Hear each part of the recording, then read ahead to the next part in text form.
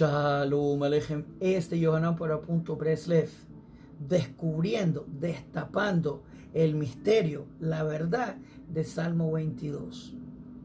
Pensé que sería apropiado hacer un video solito sobre este salmo. Ahora, una de las cosas como persona que le gusta leer la Biblia en su lenguaje natural es que uno encuentra situaciones poéticas, uh, situaciones gramáticas que a veces se malentienden en castellano. Pero también hay, hay veces que son en propósito para mantener una doctrina.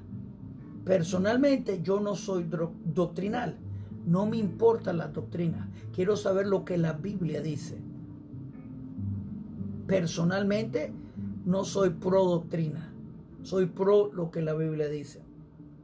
Y para mí he visto en, en traducciones, comparando con el hebreo, cosas hay veces que son tontas y cosas que son graves tontas como Moisés tiene cuernos, de acuerdo a, la Biblia latina. Y eso es debido a una lectura equivocada, errónea, de una palabra en hebreo. Así que, de acuerdo a la versión latina, Moisés tiene cuernos, pero una lectura mala. Tenemos, por ejemplo, un error que es cómico, bruto, que viene a cuando cruzamos el mar rojo, que no dice rojo, dice juncos. Y eso se debe por la versión en inglés, King James, que puso reads y se leyó mal y leyeron red, que significa rojo. Reeds son esos juncos que crecen al lado del mar, al lado de aguas. Red es rojo. Lo mal leyeron y lo traducieron así. Tonto. También traducciones malicia, con malicia. Tenemos Salmo 2, voy a explicar. Tenemos la Biblia entera, hebrea, está escrita en hebreo. Parte está escrito en arameo con Daniel y también un poquito de Esdras con Nehemías, que antiguamente eran un libro. Esdras y Nehemías era un libro. Bien, así que tenemos porciones de Daniel, Esdras y Nehemías en arameo, pero porciones, pero el resto está escrito en hebreo.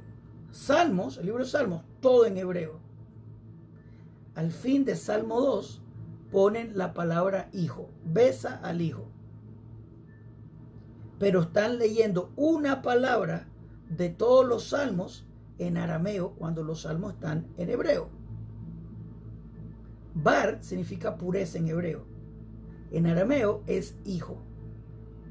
La persona que hace la traducción tiene que decidir ser honesta porque está en hebreo, traducirlo en hebreo o inventarse que esa palabra está en arameo y es propio. No sé, tal vez sería escribir un poema en castellano y inventar una palabra que suena como inglés y traducirla como que era en inglés, una palabra en castellano. No sé qué palabra sonaría como inglés, pero en verdad, al fin del día, el significado cambia. ¿Besa el hijo o besa con pureza?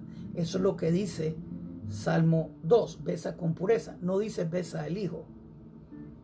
Eso es la invención doctrinal deshonesta. Así que vamos a leer Salmo 22 en hebreo. Y voy a hacerle el comentario que va acompañándolo para que entendamos un poquito el misterio de Salmo 22, que no es misterio. Como dije, muchas veces son posiciones doctrinales que le llaman cristología. Tienen que inyectar ideas al texto cuando no quiere decir eso. Este es el caso de Salmo 22. Les voy a explicar. Y creo que es bastante grave y es bastante simple de explicar. Pero quiero explicar Salmo 22 total. Vamos para allá, vamos para allá. Ok, antes de continuar, quiero darle bienvenida a todos los nuevos. Repórtense de dónde están viendo, díganos cómo le estamos ayudando. También quiero que por favor le hagan me gusta a este video y se suscriban al canal, que le hagan clic a la campanita para que le contemos cuando los siguientes videos en este canal vengan. Es importante. También quiero invitarlo a las clases de la Biblia. Estudiamos la Biblia hebrea todas las noches a las 8 de la noche hora de Toronto de domingo a jueves estudiamos la Biblia hebrea, que es la raíz hebrea de la fe. La estudiamos del hebreo, la traducimos al castellano con sus comentarios, donde todo el mundo está bienvenido a aprender la Biblia hebrea con nosotros. Tenés que estar suscrito para comentar, pero todo el mundo está bienvenido. Así que suscríbanse al canal, dale me gusta el video, compártenlo en su grupo, únanse al proyecto de aprender la Biblia hebrea. El que aprende la Biblia hebrea vive menos, vive menos engañado. Así que hagan clic, clic, clic. Ok, entonces comenzamos Salmo 22. Quiero que hagan nota que Salmo 22 se mencionan varios animalitos, uh, varios animales. Ayer Shahar, el venado matutino, se refiere a Israel. Pero tenemos también toros, tenemos leones, tenemos perros en este salmo. Los otros animales representan las naciones en poder. Eso es lo que significa. No es por llamar gente a nombres, sino que representan poderes, naciones, etc. Bien, comenzamos. Para el conductor, a la sea a la Tashahar. Para el conductor, esta es una instrucción para los músicos que se llama entonces Ayela Tashahar. Hay gente que piensa que este es un instrumento, esto probablemente se refiere a Israel, que significa el siervo matutino. Bien, puede que un instrumento se llamaba así, pero generalmente se cree que se refiere directamente a Israel como nación. Y esta es una canción de David, ese es el verso 1. Elí, Elí, mi Dios, mi Dios, ¿por qué me has ah, abandonado? ¿Por qué estás lejos de mí para mi salvación? y de las palabras de mi lamento. Obviamente sabemos que el rey David estaba sido perseguido por sus enemigos. El rey David, su arma secreta era la plegaria y la fe. Así que está hablando en ese sentido que está siendo exiliado, corriéndose de los enemigos. Ese es el punto de su plegaria y de, de este salmo específicamente. ¿Y por qué estás lejos de por qué mi salvación está lejos? ¿Por qué mis palabras no afectan mi salvación, mi ayuda? Bien. Verso 3. Yo llamo, mi Dios yo llamo en el día, pero tú no respondes. Y en la noche uh, yo no me quedo callado, no me quedo en silencio. Dice Rashi, yo te llamo todo el día, pero tú no respondes lo llama día y noche, que esa es la actitud de la persona de fe. Habla con el Creador. No reacciona a los enemigos, no le habla, ah, la, tuya también, en forma vulgar, no. Sino que en plegaria, papi, mire lo que están haciendo.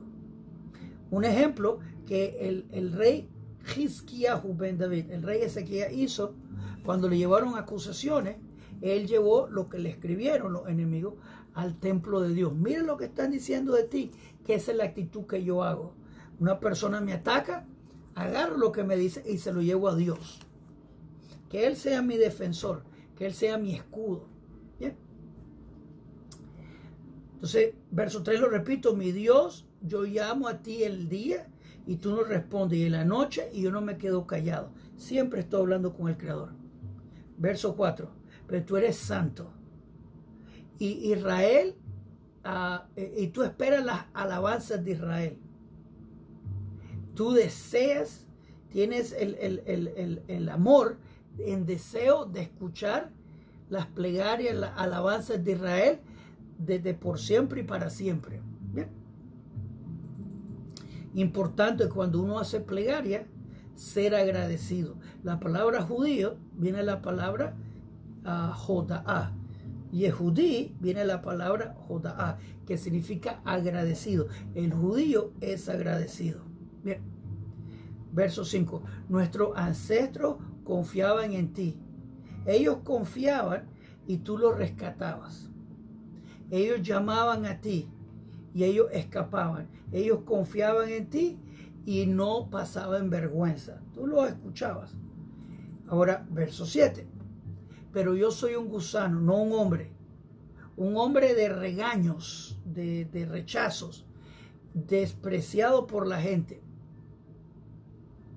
que se refiere como Israel, porque acuérdense, el rey David no estaba corriéndose por solito, sino porque él estaba representando a Israel en contra de los enemigos. Así que, ¿qué está hablando? Como Israel, como un hombre. Yo soy por un, pero un gusano, que se refiere a Israel como, como una persona. No está hablando de él mismo. Ah, dice, y aquellos que me ven se burlan de mí. Y ellos abren sus labios y mueven su cabeza como que, ah, como yo lo he escuchado, estos judíos cabezones, que parcialmente nuestro castigo por haber ah, cometido errores en nuestro pasado. Y Ezequiel 36 específicamente dice que el Eterno trae la redención final no porque somos fantásticos, sino porque el Eterno tiene amor a su nombre para que no sea mal hablado entre las naciones. Segundo, él dio una promesa a Abraham, Isaac y Jacob que va a cumplir. Así que el Eterno no nos abandona. Jeremías 31 dice que el Eterno nos va a dar un corazón nuevo cuando trae el nuevo pacto, que es en la era mesiánica. Él nos va a dar un nuevo pacto y va a provocar que nosotros caminemos en sus mandamientos. Y si uno lee, por ejemplo, Ezequiel 40 hasta el final, vemos que todo el sistema de Torah regresa. Todo el sistema de Torah regresa.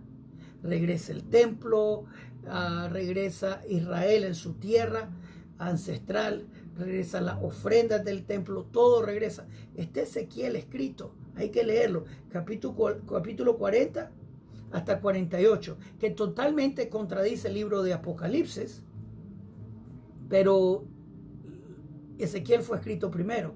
El libro de eh, Apocalipsis fue inventado más tarde, que no tiene congruencia con los profetas de Israel. El templo es mencionado en Isaías, en Zacarías, en Ezequiel, es mencionado con los profetas, todos los mencionan. El libro Apocalipsis, capítulo 21, lo corta. Ah, aquí no hay templo. Un, un error súper, mega, enormemente obvio de parte de la Biblia cristiana. Hay que escoger a quién va a seguir. El Dios y la idea inventada del testacuento o lo que está escrito en la Biblia hebrea. Uno tiene que escoger. Y solo tienen que leer Ezequiel 48 y Apocalipsis 21, 22 y ven el error horripilante, obvio, entre los dos libros y sus finales. Son mega obvios, no son poquitos. Zacarías 14, un final, con Ezequiel, con Isaías, etcétera, etcétera. El libro Apocalipsis, un nuevo cuento total que no tiene congruencia con ningún libro de la Biblia hebrea, en absoluto. Hay que leerlo, no me crean. Ok, verso 8.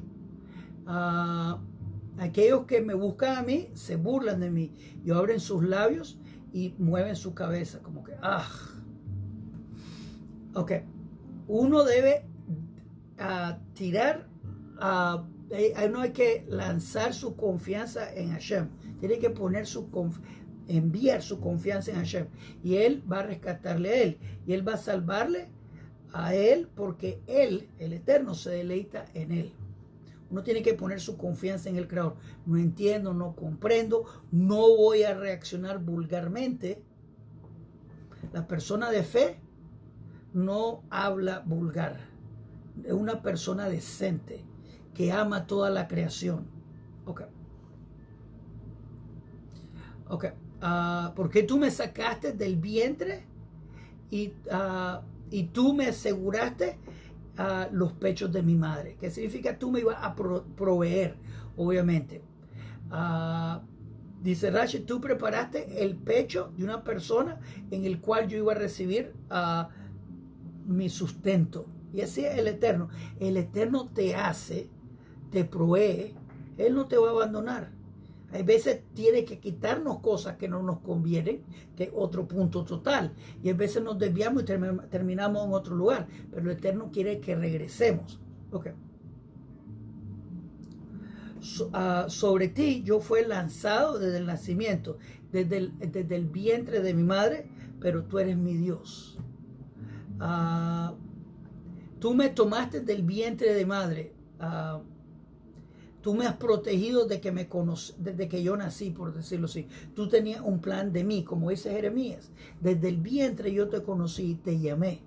El sentido de Rabbi que dice, el día que tú naciste, inclusive antes, el Eterno ya te tenía preplaneado y tenía un plan maravilloso para ti, como judío o como no judío, como mujer o como varón, con tus talentos, que pueden ser cualquier talento. Sos músico, muy bien. No sos músico, también hay otro talento que el Eterno te dio.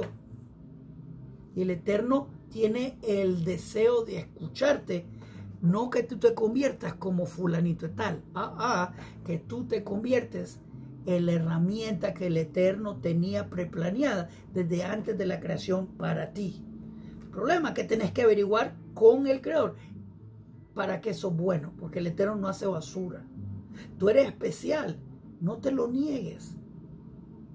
Tenés que ser valiente. Yo voy a ser diferente en mi llamado. No lo sé. Voy a, pasar horas y horas fastidiando al Creador para saber, ya como mujer o como varón, como judío, como no judío, como, como sea, tú eres especial, una herramienta especial en la mano del Creador. No lo desprecies el don del Creador. Averigua, fastidialo, conectate a Él. Bien. Verso 12 no te distancies uh, tú de mí, porque mi dificultad está cerca y no hay nadie que me ayude. Ok. Acuérdense que les dije que habían varios animalitos. Aquí vienen los animalitos. Comenzamos con Ayala Shahar, el venado de la mañana, y ahora comienzan los animalitos enemigos. Dice, porque grandes toros están alrededor mío. Los poderosos de Bashan están alrededor mío. Que se refiere a reinos. Ok, así que estos son toros enormes, grandes, poderosos. Bien, ellos abren su boca contra mí para derragarme a, rugiendo como un león. Que esto se refiere a Nebuchadnezzar. Pero bueno, como dije, estos animales no son animales porque ya saben, un toro se convirtió en un león. Están hablando de gobiernos, voy a decir antimesiánicos. Acuérdense que el rey David es el, comienzo, la semillita, perdón, aquí sería el tallito, como dice Isaías 11, del reino mesiánico. Ese es el, el retoñito, como dice Isaías 11. Bien. Así que hay gente que está en contra del reino mesiánico. Hoy alguien me escribió, y me lo escriben a diario, Israel espiritual en contra de Israel físico, porque Israel físico ya fue removido, ahora la iglesia es el Israel espiritual. Esa gente está haciendo drogas. Decimos en los salmos que el Eterno no abandona a su pueblo. Esa gente está haciendo drogas. Dios no abandona a su pueblo. Y regreso es aquí el 48, que habla de las tribus de Israel regresadas, que heredaron su tierra y morando en Israel en el reino mesiánico. Esa gente no está congruente. Ok. Verso 14, lo voy a leer para continuar. Ellos abren su boca contra mí, arrancando ah, como piel, están hablando algo así, arrancando y rugiendo como león, que se refiere a odor. Uh, yo fui derramado como agua y todos mis huesos eran separados y mi corazón estaba como la como como el, tenemos la palabra, necesito el diccionario, la palabra que es el, material que se usa para las velas. Ya les digo un segundito. Mm, mm, cera, como cera. Mi corazón está como la cera que está derritiéndose dentro de mí, dentro de mi entraña. Mi corazón se está derritiendo, dice básicamente. Ah, que dice la, cera se, se, derrite ante el fuego. Las dificultades me tienen, como dicen, de cuadritos. Mi fuerza se ha secado. Ah, mi fuerza se ha secado. los enemigos vienen, están buscando cómo destruirte. Ah, como un tiesto se dice. Y mi lengua se pega al paladar. Y voy a, voy a terminar como el polvo de la tierra. Ah, mi, mi fuerza está seca. No sabe qué hacer uno, ya no sabe qué hacer. Es, es horripilante lo que la persona está viviendo. Las dificultades vienen. Las dificultades vienen, pero uno tiene que poner confianza en el Creador. Y a veces uno se seca, está secándose, mejor dicho, no se seca, se está secando. ¿De dónde viene mi ayuda? Y el Eterno te deja pasar esa dificultad para que tú conozcas su poder. Hay veces cuando no estás seco, estás fresquito, puedes hacer un contraataque y puedes decir mi fuerza. Pero cuando tu fuerza se está secando, ya no tenés otra forma de defenderte. Entonces el Eterno demuestra su fuerza. Ok, es como dice, te están aplastando la muerte. Aquí tiene que ver con, estoy en el polvo de la tierra, estoy en el polvo de la muerte, estoy casi probando la muerte. Ok, ahora verso 17, porque perro, perros están alrededor de mí. Una banda de malvados están alrededor de mí Dice, Kaari, como un león, mis manos y mis pies. Ahora, ustedes conocen la palabra Ariel, el león de Dios. Arie, que es un león. Kaari significa como un león. Las versiones cristianas ponen, uh, ponen que es, fui traspasado en mis manos y mis pies. La palabra traspasado se encuentra, por ejemplo, en Zacarías 13, verso 3. Traspasado es la palabra Dakar. Como puñaleado sería, algo así. Traspasado por un clavo, si tú quieres. Dakar. Zacarías 13, verso 3, te habla de un falso profeta que es clavado por su propia gente, por falso profeta. Zacarías 13, verso 3 a verso 6. Un falso profeta que es clavado, traspasado por ser falso profeta. Zacarías 13, verso 3 a 6. Dakar. Aquí dice Kaari, como un león, como la palabra Ariel, el Dios de Dios. Aquí está hablando de un león, no traspasar, otra palabra total. Y en verdad me ha sorprendido la la deshonestidad de la gente, todo por hacerlo doctrinal. Ok. Ah, dice, te voy a decir que todos mis huesos, esa gente está gozándose sobre mí. Todos mis huesos están en dolor, quiere decir aquí. Y se regocijan de mi, de mi desgracia, de mi mal fortuna. Aquí esta gente está buscando cómo aplastarte, destruirte y está hablando nuevo los enemigos de Israel. Ellos comparten mi ropa entre ellos mismos y echan la suerte por mi, mi, vestimenta, que se refiere a las propiedades de Israel. Siempre ha sido así, inclusive tristemente pasó que ah, es incomprensible. Cuando el holocausto pasó, que fue reciente, mucha gente denunciaba a judíos solo para robarle propiedades. Y después del holocausto, los cuantos que quedaron vivos, que decidieron regresar a su pueblo, muchos de ellos perecieron atacados por esos vecinos porque no los querían de regreso porque ya le habían robado la propiedad. Y el judío regresaba, no, y los mataban. Así que no solo los judíos sufrieron en el holocausto, después del holocausto, cuando regresaron, muchos de ellos murieron por regresar, por tener la audacia, audacia, la juspa, la agaya de regresar a su pueblo a tratar de recobrar su propiedad. En la Inquisición eso también pasó. Tú denunciabas a un judío, te daban la propiedad de él. Así que era conveniente que tú denunciaras a fulanito y tal porque iba a recibir su propiedad. Así que esta gente está contando, ah, está, está contando tus huesos, como dijimos, verso 18, verso 19, y se divide en lo que es tuyo. Ah, verso 20, pero tú, oh no te, no te pongas distancia tú de mí. Mi fuerza apura y ayúdame Ah, no te vayas lejos de mí. Ah, mi fuerza, ven y asistime. Sálvame de la espada y de el uno ah,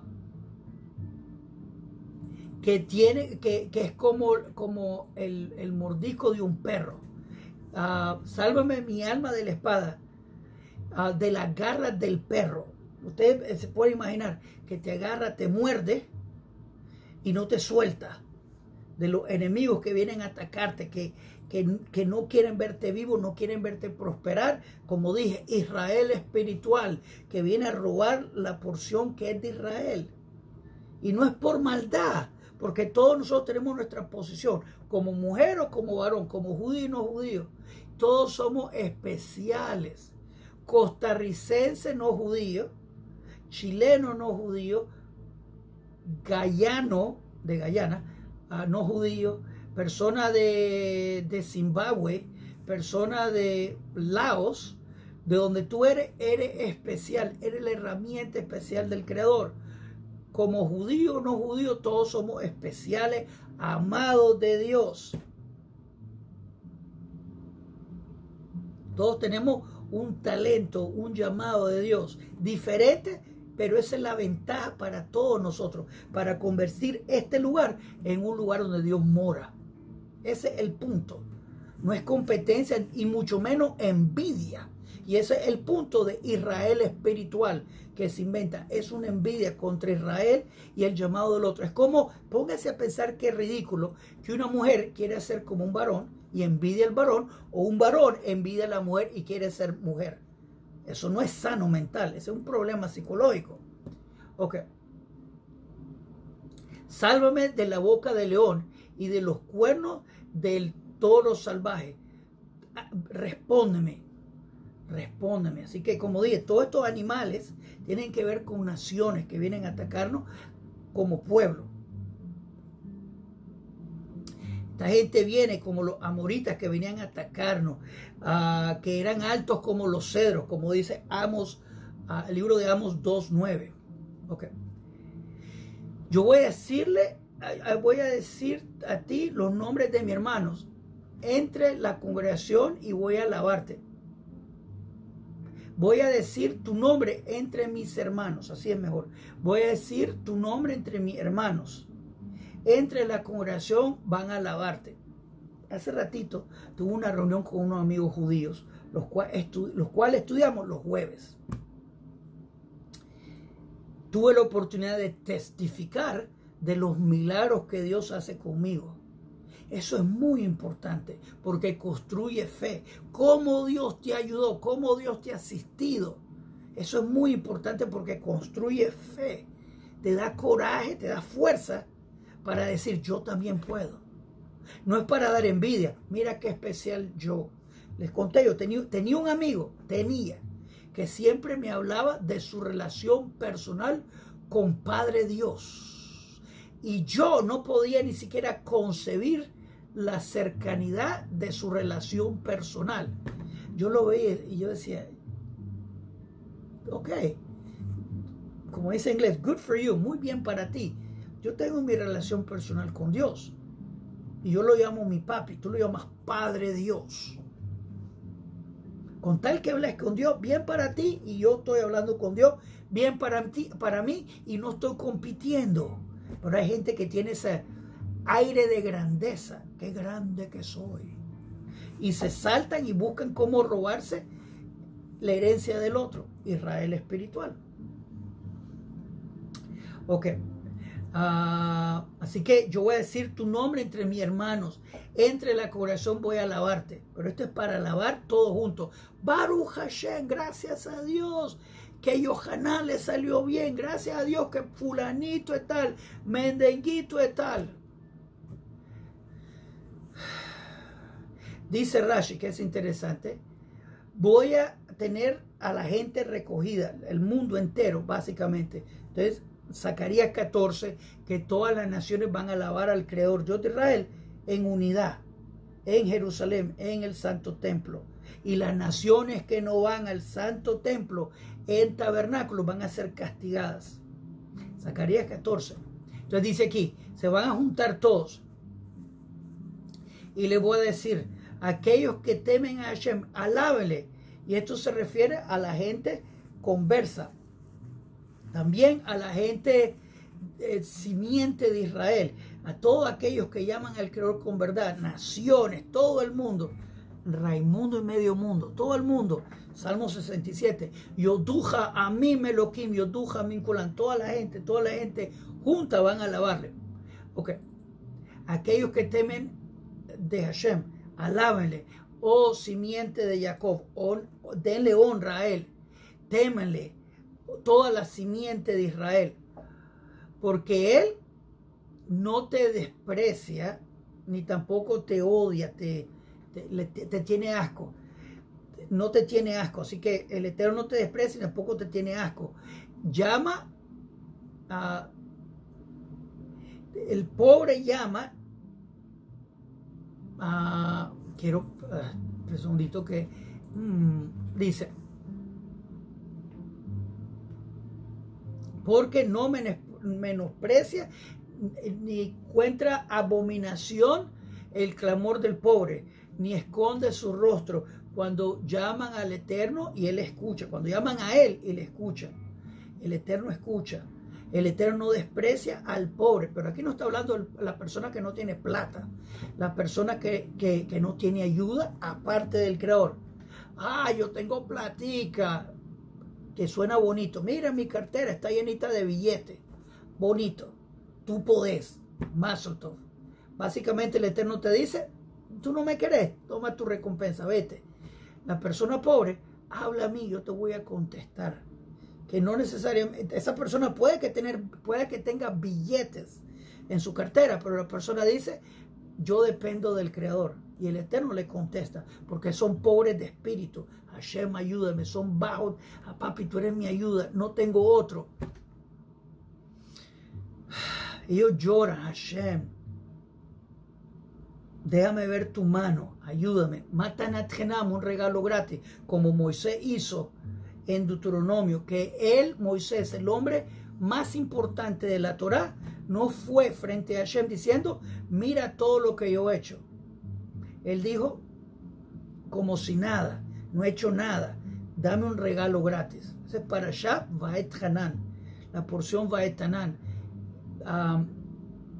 eso fue que pidió Moshe, un regalo gratis sin contar en su mérito. Es un Deuteronomio, pero es otro punto. Dice,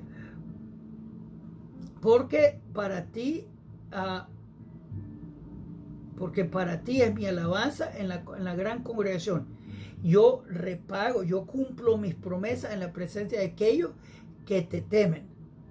La persona mansa come ah, y es satisfecha. Y ellos van a alabar a Hashem, a aquellos que le buscan a Él, su corazón va a estar para siempre, va a vivir para siempre.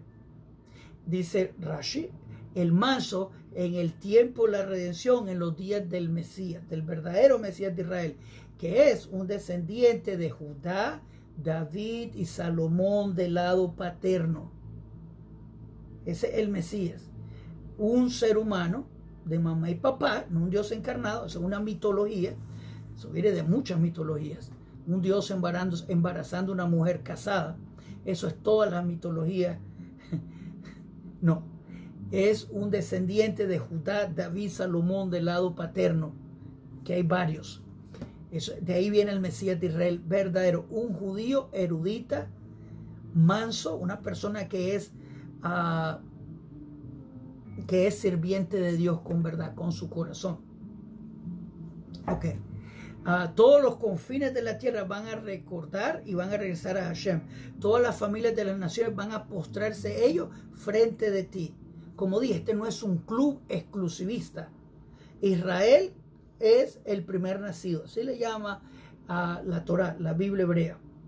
Pero Israel no es, no está haciendo esto para pisotear a las naciones o esclavizarlas, sino para servir al Eterno y, eh, como dije, primer nacido lo llama la Biblia, para agarrar las manos de los, de los hondureños, de los guatemaltecos, de los uruguayos, paraguayos, la gente del Congo, de, muritana, de donde sea, y decir, vamos a la casa de Dios.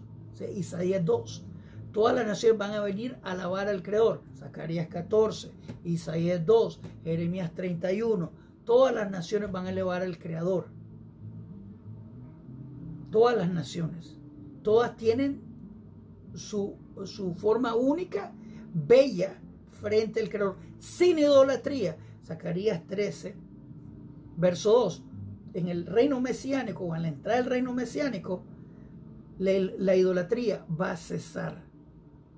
No más idolatría en la era pre-mesiánica a la era mesiánica. No más cristianismo, islam, nada de eso. Por eso, como estaba diciendo, el libro Apocalipsis y el libro de Ezequiel no compaginan. Porque demuestran que no tienen compaginación bíblica, que uno es verdad, el otro es mentira. Ezequiel es verdad, Jeremías, Zacarías, Abdías, es verdad. El libro Apocalipsis, el libro del Nuevo Testamento, total, que comienza con un Dios que embaraza mujeres casadas. Eso es mitologías, no es la Biblia. Es un Dios que comete adulterio, un Dios pecador como le decimos, el espíritu zángano, no es un espíritu santo, es locura, totalmente mitología. Ok, así que regreso, verso 28, todos los fines de la tierra van a recordar y van a regresar a Hashem. Todas las familias de la nación van a postrarse ellos frente de ti. Todas las naciones van a recordar de las malvadas que les, que les cayeron a nosotros. Y van a ver lo bueno que Hashem hace por nosotros y van a buscar de Hashem. Eso es lo que estamos viviendo hoy porque a, porque a Hashem le pertenece el reino y él gobierna sobre las naciones. Porque ellos van a ver, dice el reino de Hashem, su gobierno que ha regresado a ti, con Melech HaMashiach, el reino mesiánico. Y van a comer de todo lo mejor de la tierra. Y ellos se van a postrar ellos, frente de él, no frente al Mesías, sino frente del Creador. El Mesías es el rabino del mundo.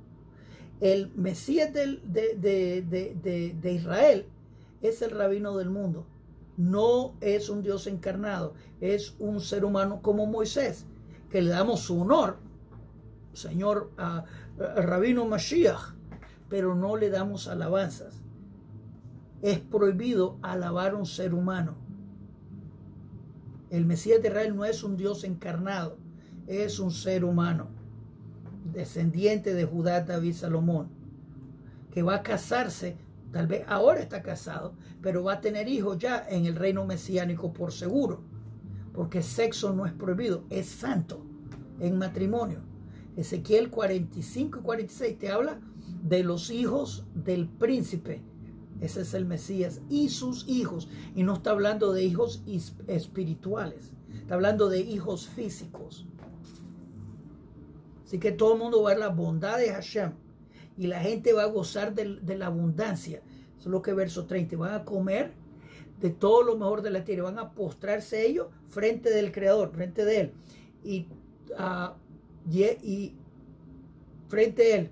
Y aquellos que descienden al polvo van a, van a, arrodillarse ah, y va a levantar su alma. Vamos a leer lo que...